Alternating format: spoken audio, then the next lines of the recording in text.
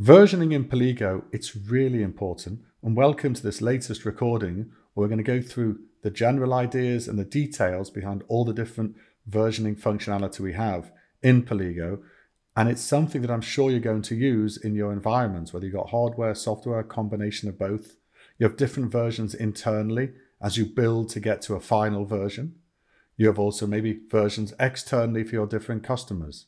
We're going to see all the different ways of managing those versions so you can write your content in Paligo, whereby having maybe parallel versions until they're ready to go into the real version, and etc. etc. Let's get on and see more details. As you may be familiar, this is the Paligo solar system as we call it. All the different main pieces of functionality. So as you can see from the graphic, we're concentrating today on versioning, but other things like authoring and reuse, translations, collaboration, publishing, there's videos on there as well where you can get this same level of detail, whether again as a prospect, as a customer, and learn quickly about the main functionality. And as I always say in these recordings, it's a good idea rather than watch it from beginning to end. You've got Paligo in front of you. Watch a small section, maybe between the different slides, and then stop at the new slide and go over and reproduce what we do in the video to improve your Paligo muscle memory and you'll become even better at the product. Please don't watch this as a movie, watch as a practical way to get to know the product much better. So, as I said before, you've got lots of versioning inside your company for the different products. You might have releases every month, every three months. I've actually seen companies where they have releases every day. A little bit scary, maybe. Sorry if you're one of those.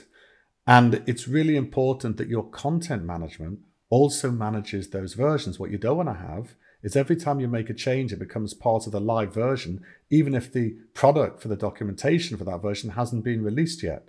We need to have a way of managing. We've got versioning for our existing or live release, and we all these, let's call them draft releases or releases that we're working towards. We have content for those in parallel. So we must have a proper organized system. An organized system doesn't mean taking a Word file, save as, and having a completely new, non related, no reuse between those different version documents, having that of your methodology. That's the way I worked when I came into the industry 30 years ago. It's not a very good way to work now. We want to make sure we still reuse content between those different versions and basically spelling out the delta and defining when something is released as a piece of content to your customers and when it's not. We also want to be able to have a full audit trail. We want to know in a certain release what was it? What was in there? What's changed? Maybe I want to go back to an old release and bring it forward again because I need it for a certain reason. There's so many versioning use cases, so many reasons for using versioning. It's really important to use it. And I would say from some of the history from some customers, it may be part of the system where they kind of leave it to the side. We'll, we'll look at it again in the future. I would strongly suggest that you're building your content strategy or maybe improving your strategy improving your infrastructure, improving your reuse. It's really important to have a good look and good understanding of what we're talking about in this recording, of all the versioning capabilities. It'll make your lives more efficient. It'll save a lot of hassle. You'll probably become writing things quicker by ensuring you're, eh, you're reusing the same content between the different versions. So version management in Paligo can maybe split into three logical groups. One is revision control. We can see what changes have been made between different versions, check in and check out. Workflow and release management, we have different statuses. We have full releases. We can see what happens there. A third one we're not dealing with in this video, but it's really important, is branching. There's a separate video specifically focusing on branching, the idea behind branching, why we need it, how to do it in Paligo, and through that we discuss lots of different types of use cases. I'd strongly recommend that you watch that video um, in addition to this one so you cover the full versioning inside Paligo. So let's start getting stuck in into revision control. We'll have a quick look now at checking in and out documents, how that is done, comparing different versions together, but also what else can I do with these different revisions that I have in the system. So let's look at check in and check out. Really simple. In a lot of other systems, what you'd need to do is manually check something out, work on it, and manually check it in. In Paligo, it's automatic. let's open about our product. And if you notice here, about our product is a little tick and with the name alongside it, which is me, saying that I've checked it out. And if I go and open another topic, you will see that's been checked out as well. So as you just saw, I opened about our product first, it had a tick. Then I opened a word from the owners. So automatically about our product, the first topic, that was checked in. There's no tick there anymore. A word from the owners was checked out and the tick is there instead. I didn't have to do any manual work. And also if I, for example, go into getting started now and I'm opening it into a, in a new tab, that is checked out as you can see. And if I were to close this one, it automatically checks it in. If I refresh this, you can see that getting started is not checked out anymore.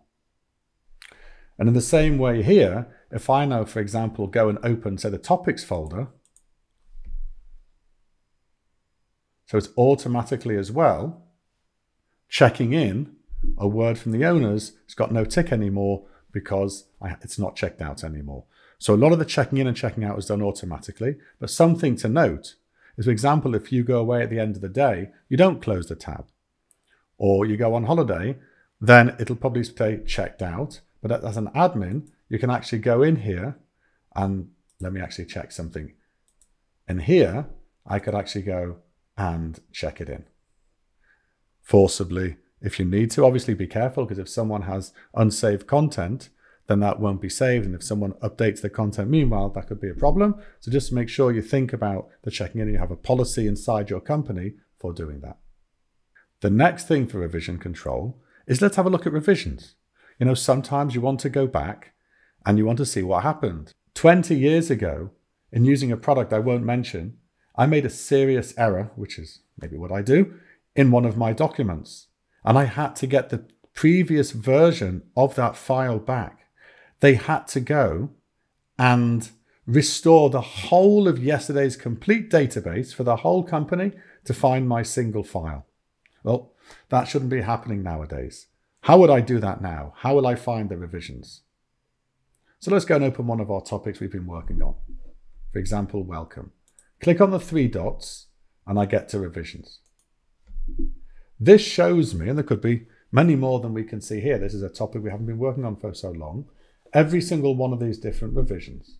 And if I click on the three dots, I could preview this version. So I could look at a previous version of the XML view to see what was in there. Maybe it's something specific I want to see. Did I put it in? Did I not put it in? I'm able to revert back to this version. So in my case, I could have quickly reverted to that version from 24 hours beforehand, rather than having them restore the whole company database, as we mentioned. I could create a new document based on this one as well, which is a possibility, and maybe download this full revision in its XML format for whatever reason you'd want it.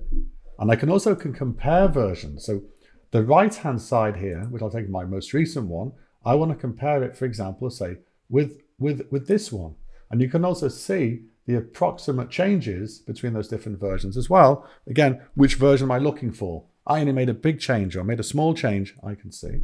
And if I do compare, I get a full XML compare, and you get color coded in different versions. This one the, the green is mean it's been added. There's also different colors for edit and delete. So you can actually see what has been add, edited and deleted. Let's just try another one. Maybe we'll get some other colors. Maybe let's try that one. There we can see also what's been edited and what's been added, although nothing's been deleted. So you really have full control, full history of the revisions in Paligo. And this is for every type of document, whether it's publications, whether it's topics, informal topics, whatever, you have that as well. I'll show you something else as well, which is important.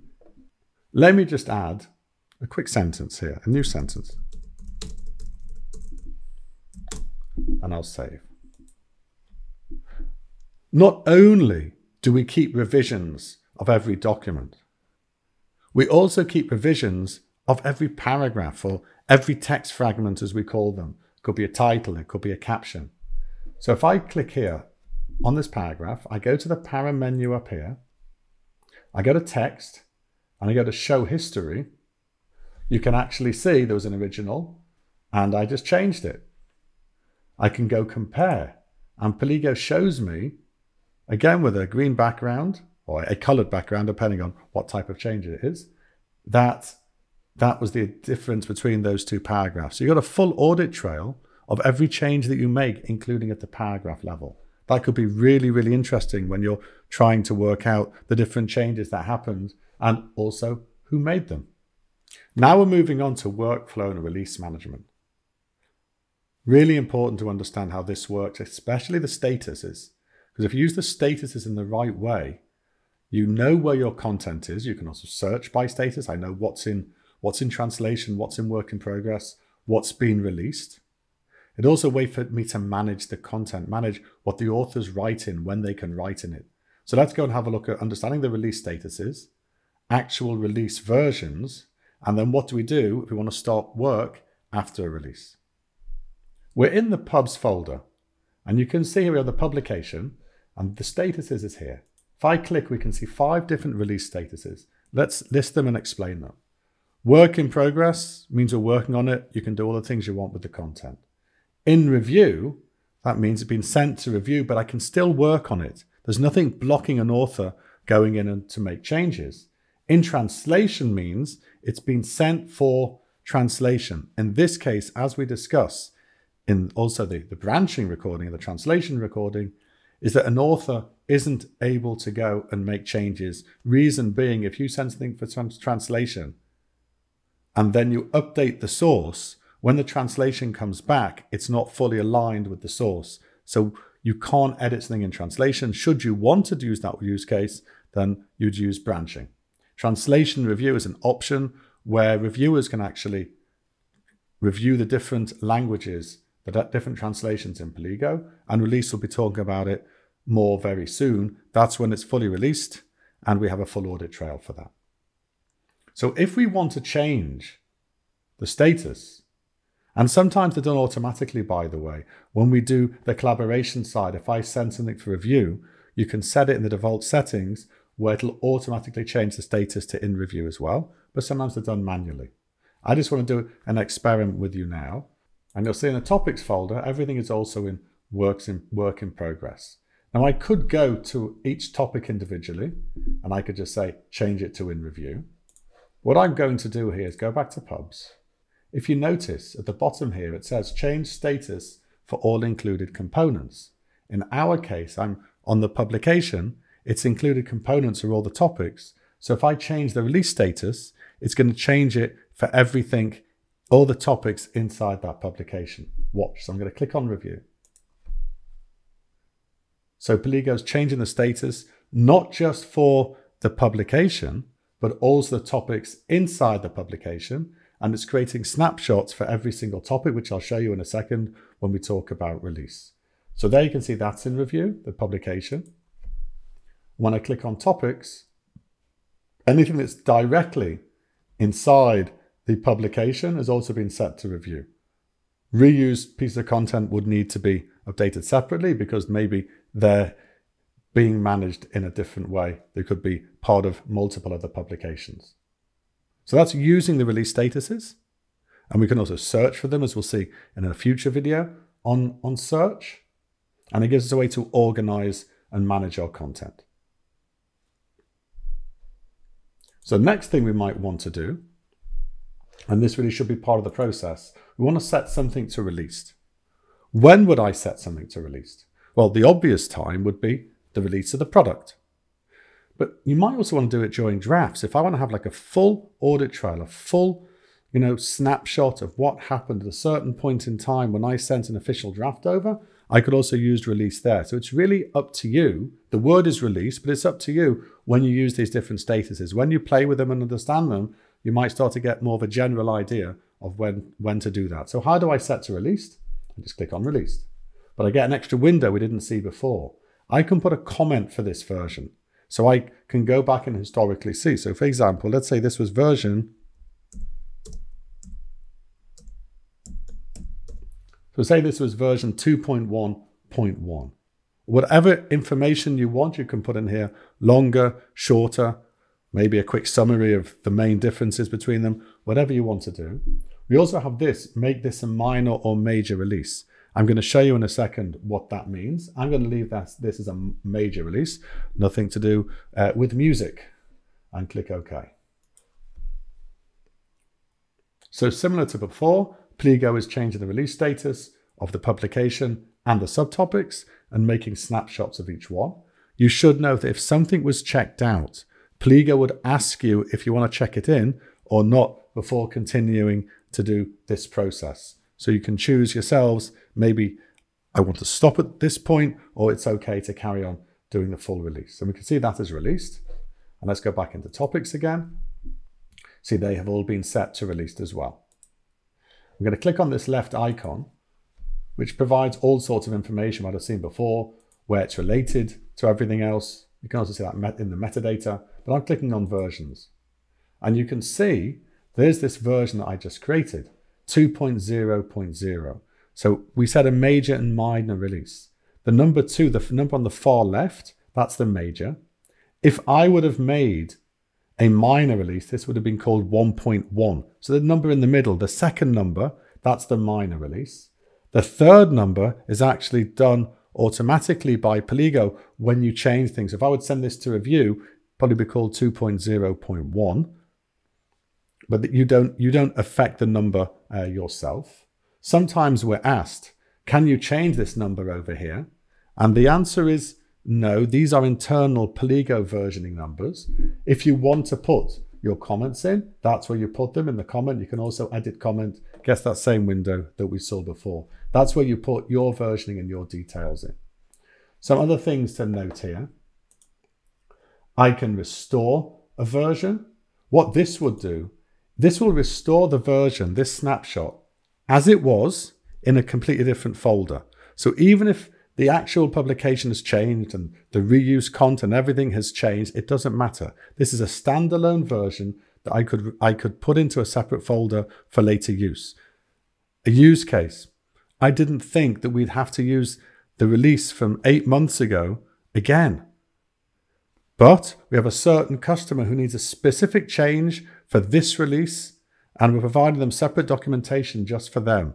This may be where we'd use a snapshot so you go back in time, the complete publication, make a change, and it's for them to use, for you to use for your customers. I could also remove the version if I wanted. The, this icon here can also download the file, and it downloads it as, a, as XML, what we call a Paligo export format that you could always import again later. And if we have a look at all the separate topics in here, you'll actually notice that if we go into the versioning, that Paligo has created a separate snapshot of every single topic as well. So not just a snapshot of the whole publication. Every topic has its own snapshot. So again, should you want to restore a specific topic in that whole publication, you're able to. So you've got a full audit trail of every release. As I said before, whether it's a full release, whether it's a partial release, you decide. But a full audit trail of both the publication and the topics in there and you could do the same thing with your admonitions, just do it manually and your informal topics of how you want to reuse things.